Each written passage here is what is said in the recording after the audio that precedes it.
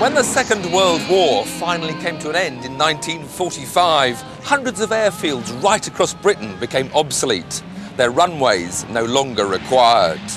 But car enthusiasts soon realised that their perimeter roads made ideal racing circuits, and a new breed of post-war tracks was born. There was Silverstone, Boreham, Snetterton and Castle Combe, but perhaps the most loved of all was Goodwood. Stirling makes a brilliant start, followed by Shelby and another Aston Martin from seventh place on the grid.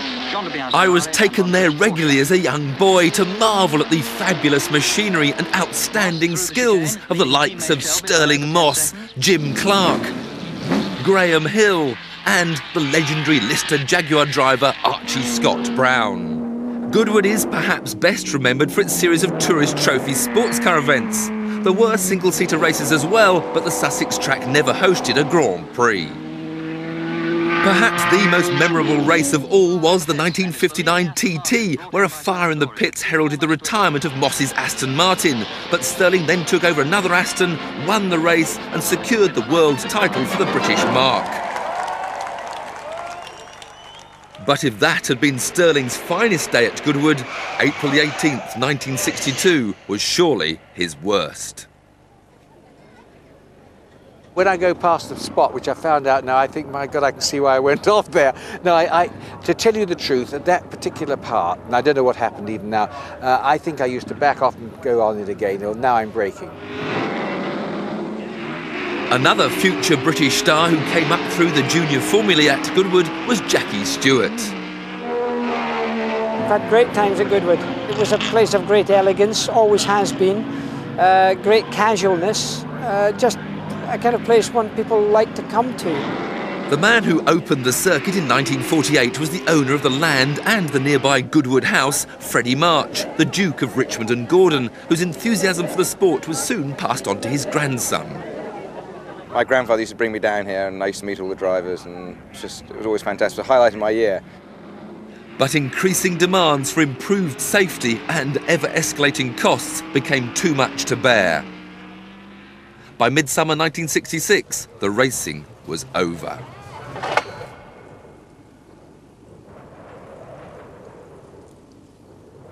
So when your grandfather closed the circuit, were you cross with him? I was indeed, yes. Well, it sort of fizzled out. I couldn't really understand what had happened. Suddenly we weren't going anymore. But um, as soon as I came back down here to live, you know, it was my, my first ambition, really. And last weekend, his ambition was realised. The glorious days of Goodwood are back.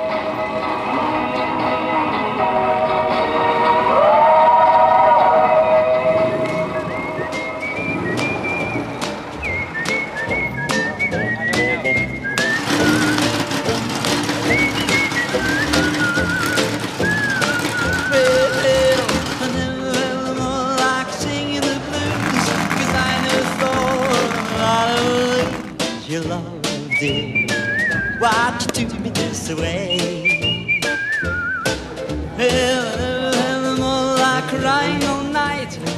And central to the whole atmosphere of this Goodwood Revival meeting is the fact that everyone has been asked to dress in period clothing. Only pre-1966 cars have been allowed within the perimeter of the circuit. And indeed, this paddock looks exactly as it did when I was peering over the fence as a starry-eyed schoolboy. But the big difference this time is that I am going to be driving. The main event was a one-hour Tourist Trophy celebration race for GT cars built between 1960 and 1964 million pound Ferrari 250 GTOs were two a penny, and one of them would be driven by the famous son of a famous father. A bit of a busman's holiday, this one. Um, I'm having a great time. I'm driving a Ferrari 250 GT, and uh, I'm also riding a Manx Norton. But how's the Ferrari? Uh, it's, dare I say, it's a bit of a beast to drive. I mean, it's not something I'm quite used to, but uh, no downforce two Ferraris and an Aston on the front row, and of course a Union Jack to start the race. The cars may be priceless, but the racing was still serious. Yet while Rob Walton got his Shelby Cobra all in a twist, the hay baling carried on just as it did 40 years ago. Into single file through the famous Woodcote chicane, thankfully now made of polystyrene rather than brick. Damon did his best but had to be happy with ninth, while the E-Type shared by Barry Williams and Nigel Corner took the spoils of victory. I think Lord March's done a wonderful job. I, I think uh, he's done everything right. It's so nice to see an estate which is obviously hereditary, uh, having more than lions and tigers and elephants in it in, in just stately rooms. I'm, I'm really loving it, I can tell you. I just wish that I was younger. Uh, I wish I was going a bit faster, but I'm still enjoying it. The control tower of yesteryear has had a lick of new paint. A million tonnes of soil have been moved and 26,000 trees have been planted to help contain the noise and bring Formula One back to Goodwood. And everyone seemed happy. The pre-66 Formula One boys also had their moments of drama. With former Indianapolis 500 winner Danny Sullivan taking avoidance action on the grass and then scything back through the field to victory despite the odd worrying moment or two. They don't write better scripts, even in Hollywood.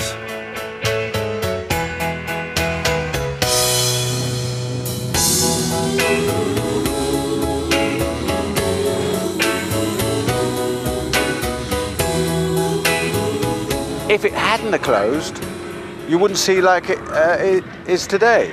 I mean, it would have been modified and changed and probably half a dozen more chicanes in it. It's the only championship track in the world, I think, uh, to still be in its original form. So that is the, the, the you know, that's where we start. So everything we do here will be very purist, very historic, with no intention of having any modern racing at all. And at the moment, we'll just do this one meeting a year. At the very first meeting, 19-year-old Stirling Moss was the winner of the Formula 3 race for the tiny 500cc motorcycle-engined cars that would, for the next 10 years, be the training ground for the stars of the future.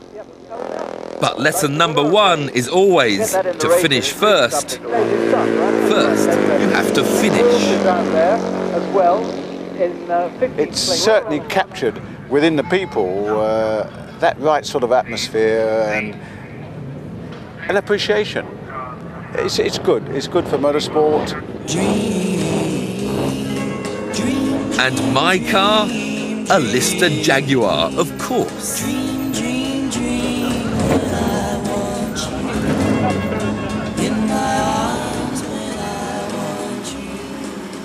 A most emotional state to ever start a race in. I've never felt quite like this. A 15-lap race for production sports cars from the 50s, and my 1958 Lister had just been restored in its original Écurie Belge team colours. I was really just struggling to keep this car on the road. Just need to live for this very tricky Ford Water King at over 100 miles an hour. My nerves on edge. I cannot concentrate properly as a racing driver should in these just euphoric conditions. Oh. It was as if I was in a time warp. I was there driving the car, but I was also there sitting in the packed stands.